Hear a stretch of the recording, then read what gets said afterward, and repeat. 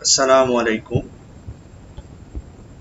In this video, I am going to discuss an important topic of jurisprudence. The debate between Professor Hart and Professor Fuller.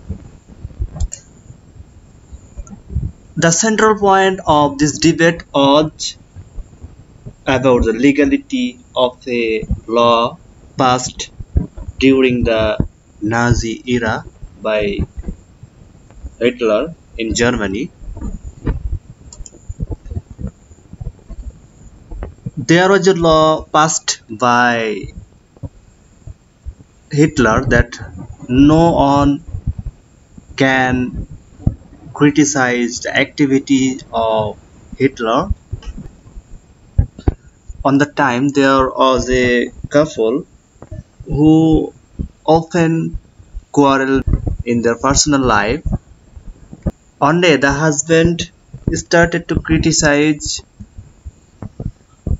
about Hitler and its activities before his wife. When their relation became worse, the wife used it for the punishment of husband. The wife go before court and prosecute a suit against her husband. And the court after trial declare death penalty. Although the death penalty of the husband had been mitigated his punishment has been mitigated death penalty was not executed. And later in 1949 the wife was prosecuted. The charge uh, brought against wife was that she deprived her husband from the exercise exercising of personal freedom.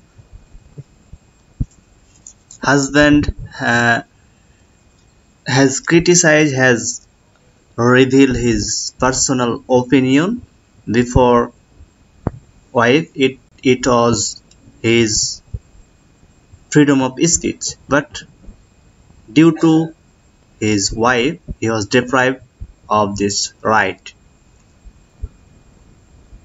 The court saw that the law passed by Nazi uh, was contrary to morality and it was not sound it was illogical. So wife was declared guilty by the court? Wife made a mistake obeying this law. Now let's see the opinion the debate of Hart and Fuller about the law passed by Hitler or Nazi. According to Fuller, the court judgment was right by which uh, it declared White guilty because according to Fuller,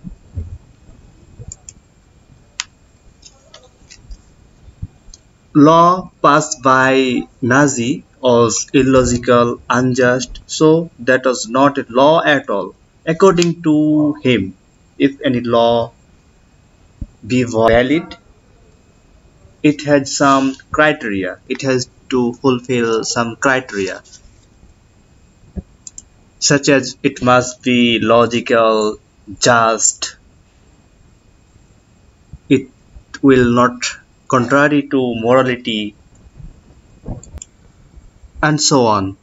But the law passed by the Hitler or Nazi was unable to fulfill these criteria. So uh, according to Fuller the law was not a law at all. On the contrary uh, according to Professor Hart the law passed by Hitler was a law. According to him law and morality both are totally different. As this law was existed during the time this command was passed by the sovereign authority so it was law. But he never said that it was good or bad or moral or immoral logical or illogical. Even he didn't say that this law must be followed or should be followed by five he just said it was a law.